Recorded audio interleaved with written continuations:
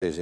Bueno, se suma a nuestra mesa de análisis Joan Guirado. ¿Qué tal, Joan? ¿Qué tal? Buenos días y perdón por el retraso. buenos aunque, días, nada, no pasa Aunque nada. ha ido un poco bien porque recibí una llamada muy interesante. Ah, bueno, bueno. Podemos cuenta- contar ahora. Ah, bueno, pues cuenta, cuenta, cuenta. Lo primero la llamada. Que podremos avanzar información de primera mano de lo que va a pasar con la ley del solo sí sí, que venimos un fin de semana muy movidito con eso de la reforma de la ley del solo sí Vamos a cerrar el tema del aborto, si te parece. ¿Tú Y- crees que va a haber recurso, se van a recusar estos cuatro magistrados Eh, o opi- no? me, me sumo a la opinión de Pedro de que... Va a ser de que no, no. Sí, después de escuchar a Semper diciendo que no tiene ningún problema con la ley de plazos, creo que va a ser que no. Ahora, creo que hay que recordar que la sentencia del 85 dijo que el nasciturus, es decir, el no nacido, era un bien jurídico protegible. Como un bien jurídico protegible es disponible, es un círculo cuadrado que yo quiero leer. Porque eso para mí es imposible.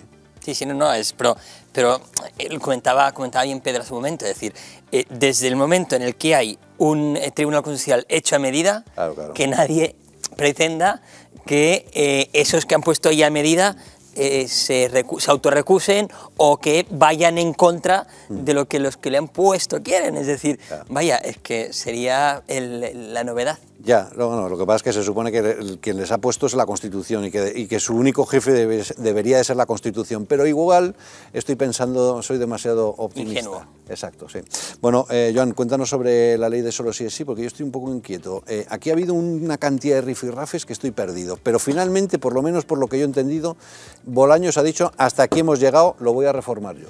Hasta aquí hemos llegado. El presidente del gobierno va a hacer lo mismo que hizo con el envío de armas a Ucrania y con el envío de tanques Leopard 2 a, a Ucrania. Se va a reformar la ley del solo sí es sí y les podemos avanzar ya la forma en la que se va a hacer. Lo va a hacer y al loro, lo- lo va a hacer justicia. Y al loro porque podemos tener aquellas cositas que te gustan a ti, Luis, mucho, que es que eh, los de Borja Semper se vayan del bracito del PSOE en algunas cosas. ¿Por qué lo digo? Porque el Partido Socialista va a copiar la misma fórmula que eh, Alberto Núñez Feijóo propuso hace unas semanas, que es la de una proposición de ley que modifique la ley actual, la norma que, que está errática, eh, la, la chapuza en definitiva, eh, con el fin, dicen fuentes socialistas, de retocar los efectos indeseados que hemos comprobado de la ley del solo sí es sí. ¿Eso qué quiere decir?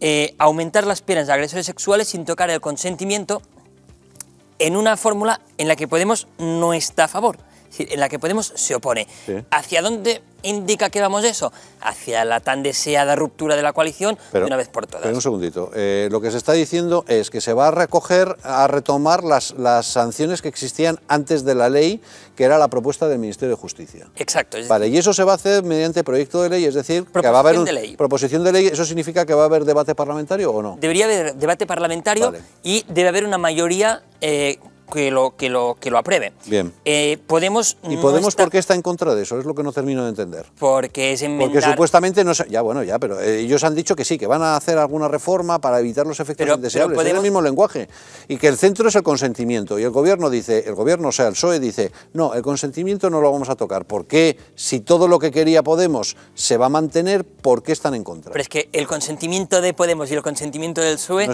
es el mismo. consentimiento, empezando por ahí. La propuesta que esta mañana ha remitido Igualdad al, al PSOE es, eh, in- el término era in- ah, inasumible, creo que me han dicho por Moncloa, es decir, no, no, no tiene posibilidad alguna. Ah, o sea que Igualdad ya tenía un papel de reforma. Sí, Igualdad esta mañana ha remitido un papel de reforma Ya. que Moncloa ha calificado de Inasumible. inasumible. El PSOE tiene el suyo, el PSOE va a tramitar el suyo y fuentes de Ferraz no descartan que esa proposición de ley salga adelante con la abstención o con el voto favorable del Partido Popular. Solamente con la abstención seguramente esto saldría adelante. Claro. Es decir, entonces podemos encontrarnos otra vez con esa pinza eh, PP-PSOE que permita que se reforme la ley del suelo sí es sí, eh, aunque si ese es el escenario, todo indica que vamos hacia la ruptura de la coalición. Venga, ahora vamos a hacer la Antes de acabar Vamos a hacer la segunda apuesta, Joan. Eh, ¿Tú crees que se va a producir una- esa ruptura? Que Lo- esta, va a ser, esta va a ser la excusa, porque ha habido muchas, ¿eh? Lo único Está la sé- cumbre hispano-marroquí, están los tanques Leopard, ha habido eh, el, el tema de la ley trans y ahora este Lo único, asunto. lo único que sé es que el presidente ha puesto mucha prisa en esto, que esto se tiene que hacer antes de acabar el mes de febrero Pero ha puesto prisa. y que Ha puesto prisa porque el 28 de mayo es pasado mañana y esto es un desgaste Exacto, electoral exacto, es espectacular. decir, eso por un lado. Y que, eh, y así lo coinciden tanto ministros del PSOE como ministros de Podemos, es lo más grave de la legislatura en el seno de la coalición. Así eh, son los términos en los que unos y otros se expresan estos días. A veces esto te encontrabas con que un ministro socialista, cuando la ley trans, eh, esto es lo más grave, no se puede aceptar, o cuando lo de las armas, Podemos te decía lo mismo, pero te decía uno u otro. Sí. Hoy coinciden los dos eh, socios de la coalición en la misma frase. Sí. Entonces, Que esto es inasumible. me da a mí que... el- Podemos también dice que es inasumible. Sí, que es lo más grave hasta el momento de la legislatura. Ya. Eh, mm, me da a mí que mañana el Consejo de Ministros va a ser calentito. Y luego que el hecho de que haya salido el, el macho alfa de Pablo Iglesias en tromba a decir que, que esto se- que la ley es, es perfecta, que hay que mantenerla y que los malos son los jueces, creo que igual también ayuda a encender el ambiente. ¿no? Sí, y además tenemos eh, que tener en cuenta una cosa, que es que hay una crisis de gobierno inminente. Eh, a Pedro Sánchez sabemos que le gusta mucho utilizar los fines de semana y no sé quién está de guardia este fin de semana aquí, pero le recomiendo a mi amigo Antonio Muro que el sábado por la mañana y el domingo por la mañana esté muy pendiente, porque seguramente tengamos cambio de gobierno este fin de semana. Sería bonito. Y, y esta ¿Pero un semana... cambio, cambio de verdad o el técnico que se está barajando? Ahí voy, es decir, todo iba por el técnico, por sustituir a Darias por Reyes Maroto, por Raquel Lloti en el sitio de Darias y por Siana Méndez en el sitio de, de Maroto. sí. Pero estamos en una semana clave con la reforma de la ley del solo sí es sí.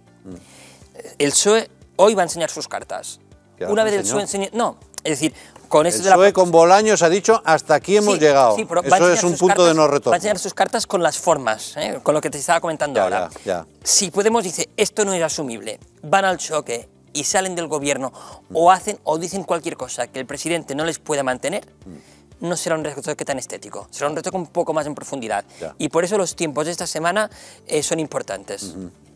Pedro, eh, en este juego de apuestas, ¿cuál es tu apuesta? ¿A haber ruptura de- de- del gobierno de coalición o no? Lo digo porque como se ha bajado durante tantas veces, pero esta parece que sí. Hombre, Yo después de oír al maestro Joan, pues estoy por, por decir que no sigo en el juego y que me levanto.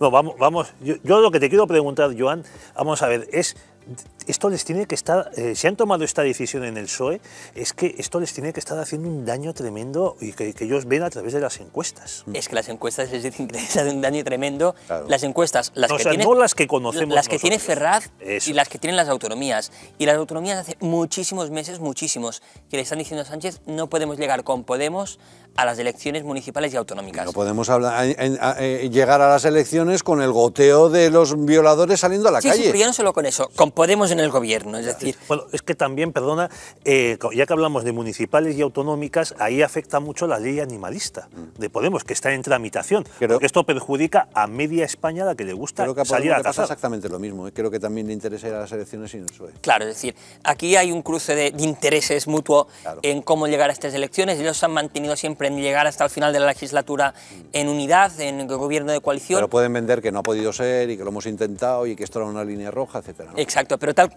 es decir, tal como están las cosas hoy, eh, esto tiene que petar por algún sitio y no va a petar precisamente, yo creo que bien del todo. ¿eh? Es Y a lo mejor y a lo mejor no tarde. Bueno, vamos a estar no va a ser un divorcio de esos amistosos. Además, es que le vendría muy va- bien. van a hacer un Shakira. me- eh, me- le vendría muy bien a Sánchez presentarse como presidente de la, de, de- de la Unión Europea sin ministros por envidia. Claro, claro, ¿no? Y además es que eso es algo que siempre hemos dicho y que eso tiene que hacerlo. Ahí estábamos haciendo cabalas de si convocaría elecciones anticipadas para precisamente librarse de eso. Eso es algo que tiene que hacer ya. ¿Por qué?